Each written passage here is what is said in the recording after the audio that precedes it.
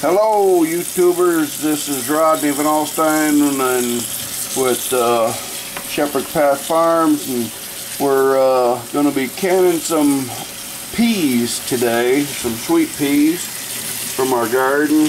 I got a bunch more I got to go pick and uh, got to wash them and we're going to be canning them in a pressure cooker about 30 minutes for pints on 10 pounds of pressure. So when we get a little further ahead, we'll show you a little more. Y'all have a blessed day. This is Rodney VanAlstine with Shepherd's Path Farms, living well on half an acre.